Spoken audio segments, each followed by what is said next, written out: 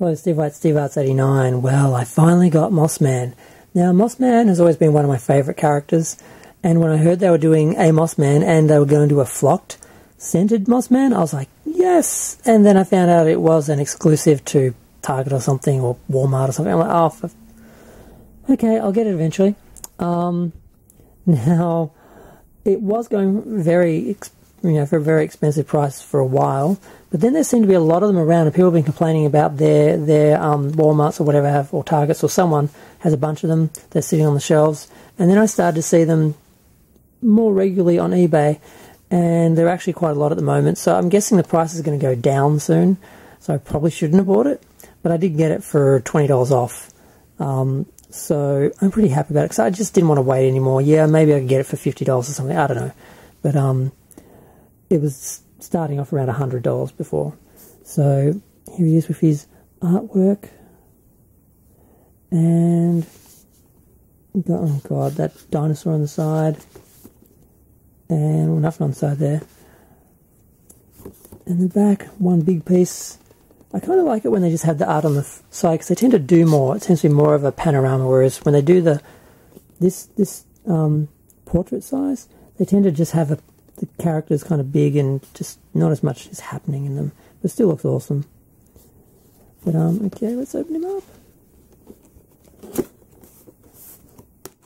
And oh, okay, the art is actually continued all the way around. Oh, that's good because when you fold it out and fold the box up, you see the art all the way around. That's so much nicer.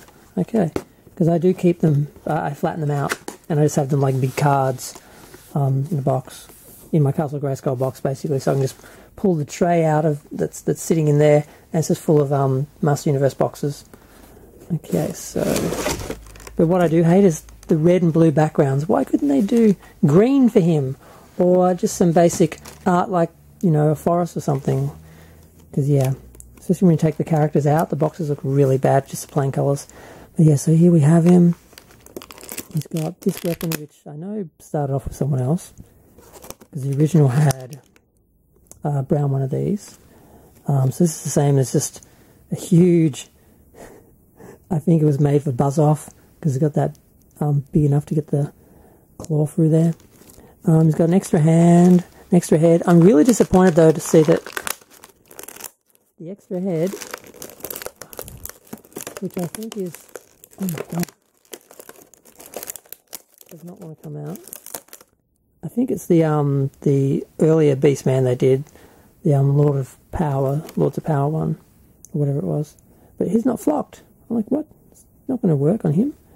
Um, he comes with the yellow Beastman armor because people seem to think that should go on Moss Man, which never occurred to me when I had it all the years I had it. Because I had a, I had the armor first, then I had a be- um a Beastman. I didn't have the red armor, so for years he wore the yellow one. But um, Okay, I'll get the hand out first. Oh, they're really in there tight, aren't they? Oh, staying fine. I just want to get him out. And smell him. What? He's not scented. That's not what I think of when I smell a pine. He doesn't smell like the original. But the flocking is really nice, actually. Um, yeah, it's really nice.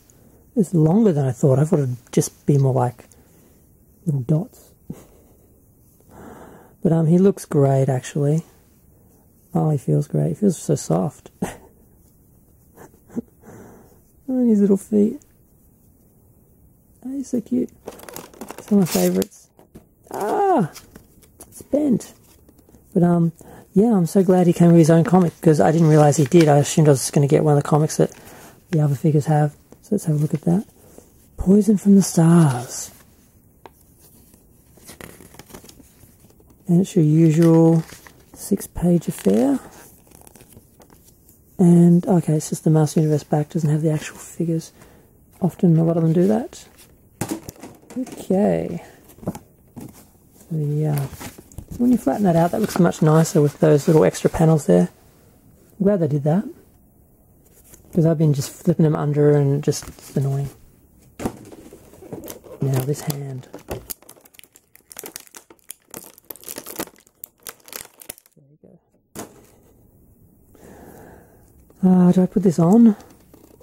Uh, I may as well. See, when I look at this, I just think of Beastman because my Beastman had the yellow one. But I guess if your Beastman always had the red one, you could put this on him and feel like it's his armor. But I just feel like he's wearing Beastman's armor. And I don't want to, actually, you know what? I don't want to wear the flocking off. So yeah, this is going to be for a still.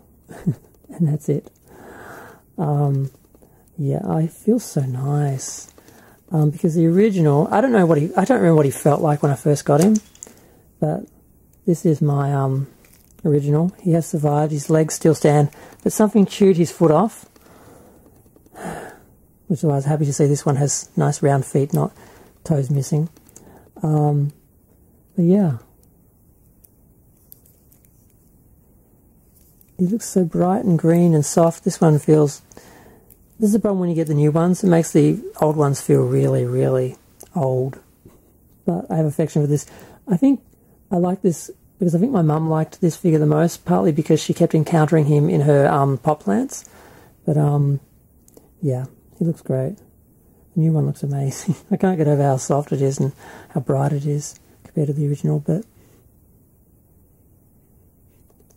that doesn't smell like pine to me. It smells like um, Origins plastic with a little bit of something. but I'm going to go. Bye.